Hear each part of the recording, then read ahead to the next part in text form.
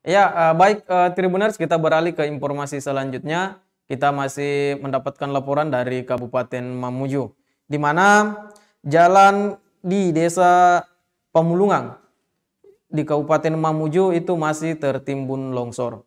Laporan selengkapnya disampaikan rekan kami Abdul Rahman. Iya, Rahman.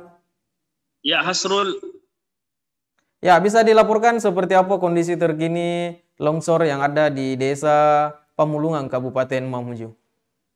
Ya, baik. Uh, benar sekali bahwa sejak uh, Sabtu kemarin pada 14 Mei 2022 terjadi longsor di Desa Pamulungan dan ada dua dusun yang saat ini masih tertimbun longsor yakni dusun Rombia Apo dan dusun Betem Batu.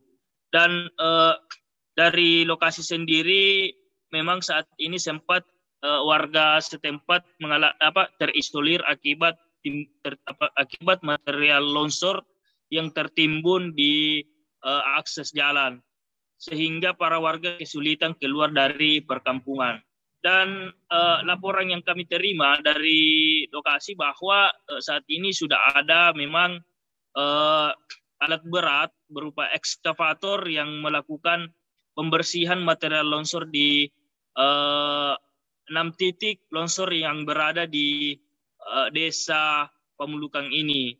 Dan untuk saat ini dari laporan warga yang kami dapatkan bahwa masih terdapat uh, sisa-sisa longsor yang berada di jalan dan saat ini jalan masih becek sehingga para warga saat melintas itu kesulitan karena masih ada sisa-sisa longsor yang ada di jalan tersebut sehingga untuk uh, akses jalan ini uh, ber, apa akses jalan masih uh, sangat sulit dilewati oleh kendaraan roda dua maupun roda empat.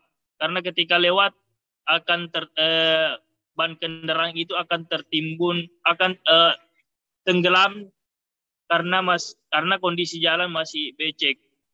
Sehingga eh, para warga harus berjalan kaki sekitar 2 kilo menuju eh, untuk menuju ke perkampungan Rumbi Apok dan Betem Batu. Seperti itu, uh,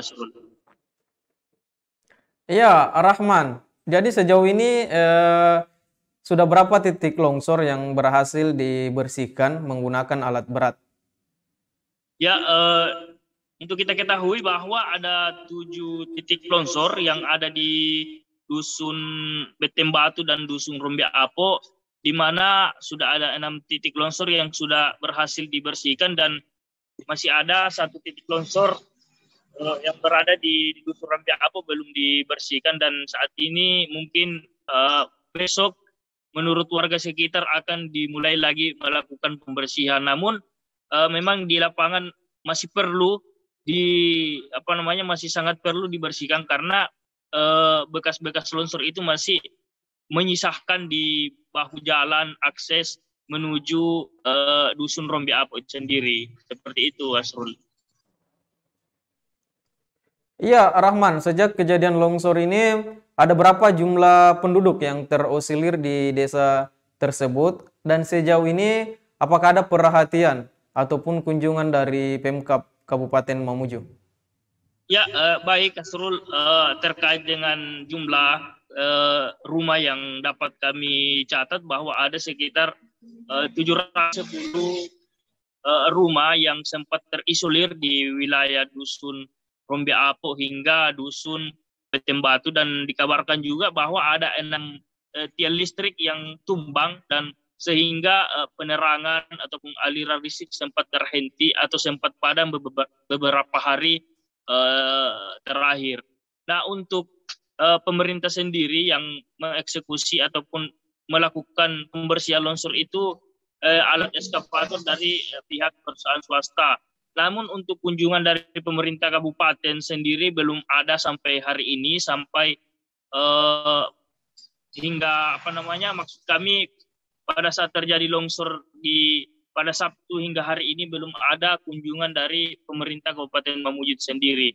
Namun pemerintah desa atau kepala desa sendiri turun langsung di lapangan untuk uh, bekerja sama dengan pihak Babinsa maupun warga uh, membersihkan jalan yang tertimbun longsor. Seperti itu Asrul. Baik, uh, terima kasih Rahman atas laporannya. Selamat bertugas kembali.